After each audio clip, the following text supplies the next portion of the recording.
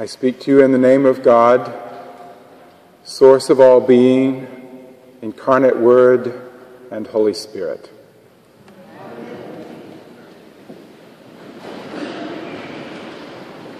Good morning. It's a really joyful thing for Sheila and me, and for Stephanie and Joe, and for Brian, all of we visitors to uh, be here with Trinity St. Peter's. Give yourselves a hand.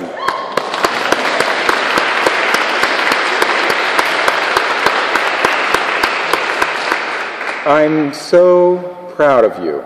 C.S. Lewis uh, said that that was not a sentiment that one should have, pride in anyone, in your children, and so on, but he was wrong a few times. and this is one of them. I was born under the star sign of Libra. And thus it's very hard for me to make up my mind about things. to know whether things are really good sometimes or not so good. I usually can see both sides. And that's good, but all, not all the time. so it is that theologically, in the distant past and in the not so far past, the passions of people about theology, there's something really good about that. Back when the church was trying to decide about the nature of Christ, the nature of God, people used to have barroom brawls about the nature of Christ. We have actually, people have found scrawled in Greek in the bars of the uh, Hellenistic world, slogans from the Arian party and what came to be known as the Orthodox party about the nature of Christ, and blood flowed. That's the not so good part about it. But they cared. They cared about that. When I was a little boy in East Tennessee, my family and I made the journey all the way to Nashville to go hear the original Broadway production of Jesus Christ Superstar. And we had to go through picket lines to be able to, remember that? To be able to hear that amazing, that amazing piece of uh, music.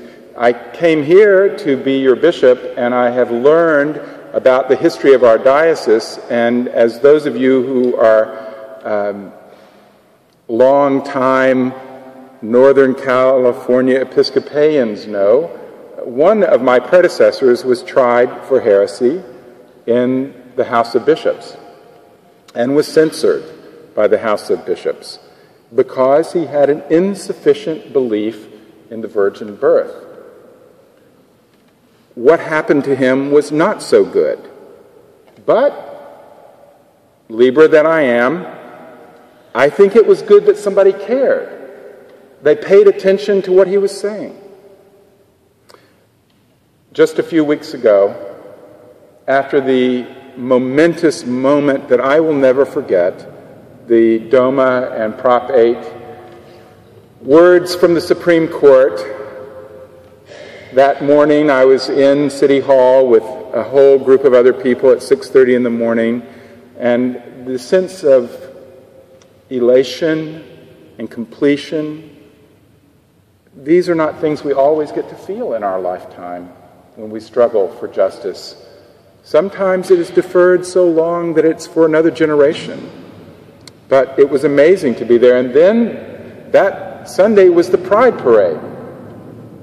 Now, I don't know how many of you have been to the religious Episcopal contingent of the Pride Parade, uh, but we were number 230, group 230 in the parade. And we were clustered with all the, may I say, uh, loosely, religious groups. So the Lutherans, they are religious, were right in front of us, and we, were, we had Eucharist together, as we have been doing for numbers of years, right there on the sidewalk, uh, long before the march began. Uh, there were an extra, there were a million and a half people lining the streets, and so it was a long, long time before we started. But with us also were the humanists and the atheists of the Bay Area and Northern California, uh, all happily together. That's the good part about it. But there really was no sort of discussion between these groups, and that's the not so good part about it. Did we really care enough? Did they as well about their views? So the recently closed opera, Mary Magdalene, had its world premiere here in San Francisco. And Sheila and I were privileged to be guests in one of the evenings, and we were able to hear this extraordinary opera. Now, I realize it is an example of what we call elite or high culture, depending on how you want to look at it. And many, many people couldn't afford even the nosebleed seats in the War Memorial Opera House to be able to hear this, this opera. So I can't really speak to the reaction of crowds as had been done in the Arian controversy or Jesus Christ Superstar or at the Pride Parade or with Bishop Pike. But this opera was full of potent ideas potent theological ideas, many of which I thought were good in my way, but one of which was really something worth wrestling with as far as I'm concerned. And that was all the way at the end of this extraordinary production, all of it written by one man. Mark Adamo wrote both libretto and the music. And it was after the crucifixion of Jesus. And in this production, Jesus and Mary, uh, Mary Magdalene have married, much to Dan Brown's satisfaction. so they are intimate, let us say that. They love each other. And we know that. We, we know that from the gospel accounts. They, they loved each other. And Mary goes to the tomb as in the canonical gospel story that we heard this morning. And she is weeping, she's sorrowing, but there is a body in this opera. It's a wax figure of the, of the actor who is singing the part of Jesus. But she is weeping at a physical dead body. And behind her, rises Jesus, singing his gospel message to Mary. She never turns and looks at him. She never speaks back to him. She relates instead to the corpse and has, if you will, only a spiritual sense of the resurrection. Well, so what? So what? To me, brothers and sisters, this means everything. This idea, this reality, both things, the idea and the reality of the resurrection are decisive in our minds and hearts and in our world.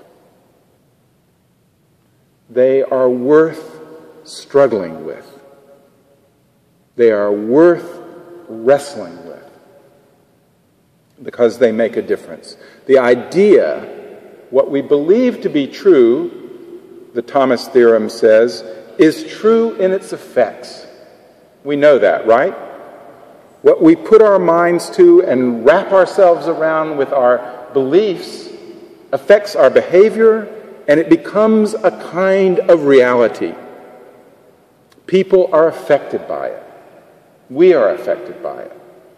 It is not of no moment that we believe certain things. So, whether it refers to any kind of measurable reality or not, if you believe in the resurrection of Jesus of Nazareth, Jesus the Christ, it makes a difference in our behavior and how we comport ourselves and how we see other people. But the church says more than that. It says that that is actually how the universe is. That that is how reality is patterned. That the cosmos is shaped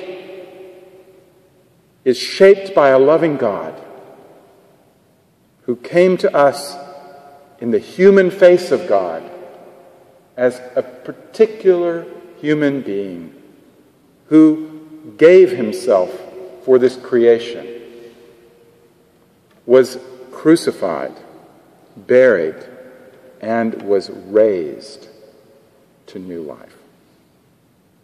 So, if that is so, in either aspect, in terms of an idea or the reality of the universe, what is the effect that it has? Well, today's gospel and the passage from Corinthians, the epistle, have something to say about that. This strange noli tangere, this strange thing where Jesus says to Mary Magdalene, Don't hold on to me. Don't cling to me. Don't touch me. Because I have not yet ascended to my Father. But go and tell my followers, my friends, that I am going to my God and their God. And I'm going to my parent God and their parent God. That has meaning. She is not to hold on to him because, as St. Paul says in the Corinthians passage, we are no longer to see Christ. In the Greek, it would be translated more directly as according to the flesh. In our translation today, from a human perspective. But I like that, according to the flesh, because that's how they had related to him as a concrete person that they could touch and feel and to whom they related. One on one, and sometimes in a great crowd, but not to the whole world. Not to the whole world.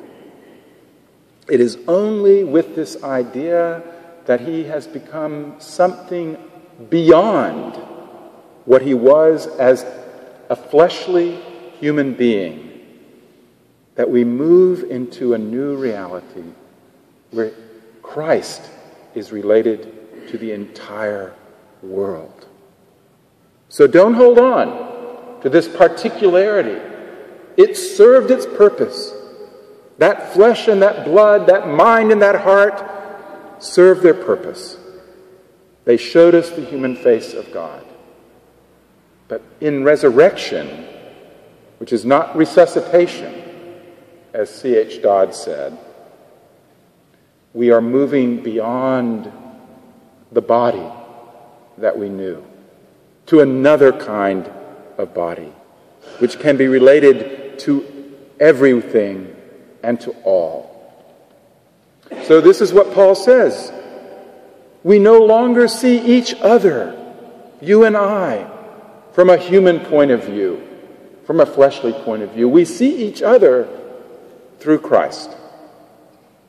Now, he says in another place, Behold, I am telling you a mystery. This cannot be summed up in a few words or even one image. So he tries several others. He says, sometimes, he says, we put on Christ like clothing, and then we see each other clothed in Christ. And then he says, because we see each other clothed in Christ, there is no longer a Jew or a Greek, a slave person or a free person, a man or a woman, but all we see in Christ. Now, may I say, he does not mean that the differences disappear, but rather, as in this Corinthian passage, that they are reconciled. They are related to each other, Jew and Greek, slave and free, male and female, all these opposites are brought to meaningful, loving relationship with each other, and they continue to be what they were. We preserve our persona, but we relate to each other in Christ. Any, that's not even enough, is it? You don't get that. I don't get that. So he tries again. In Ephesians, he has this strange image, a biological image that is nowhere in biology. So we could say it's metabiology. And that is this each of us are growing up into the head, which is Christ. So it's as if the starfish had a center and the legs, the arms grew into it rather than growing out of it. And there, he says, we find our unity in this encompassing being, which is Christ, the resurrected Christ. So, what, what difference does that make? That I believe in that, that we as Christians believe in that. What difference does that make in our world? I think it is inconceivable to think of Gandhi without this resurrected Christ. I think it is inconceivable after Gandhi to think of Martin Luther King without this resurrected Christ. I think it is inconceivable after Gandhi and Martin Luther King to think about Tunisia without this resurrected Christ because this resurrected Christ is bringing, as Paul said, the ministry of reconciliation into the world, the overcoming of these things. Now, in the opera, to return to that, Peter, Mary Magdalene, and Jesus, and Mary, the mother of Jesus, are the primary characters. And Peter is a provocateur. And he says at one point to Jesus and Mary Magdalene, after they've been married, Jesus, you're interested in the body suddenly, now that you have what you want. You've married the woman you love. So you're interested in the body, but you're not interested in the body of Palestinians who are suffering under the Roman Empire. Why don't you just be consistent and thorough in your thinking and a little more courageous, Peter says? and be willing to say that the body is not just yours and Mary's body, but the body of suffering people as well. Well, that kind of struggle had gone on for millennia before Jesus of Nazareth. Zealots lived at the time of Jesus and perhaps were among his followers, hoping he would lead them. That kind of struggle is known in the human world, but the struggle of nonviolence, where we see no longer an enemy, but one to whom we are in fact related, may I say through Christ, this is the ministry that the resurrection brought into the world. And it is inconceivable for me to think of it without the resurrection. It opened the door to all that has flown, uh, that has come and sprung out of it afterwards. And then that brings me to tr- back here to Trinity St. Peter's. You are together, and we will be marking that in a palpable, a tangible way in this service, in a beautiful way but you are not the same. You retain your independence of personality as two different congregations with two different histories, with two different ways of relating to Christ through the liturgy, relating to the world, but reconciled to each other. You are something new. May I say, you are a resurrected body. In Christ, you have become something beautiful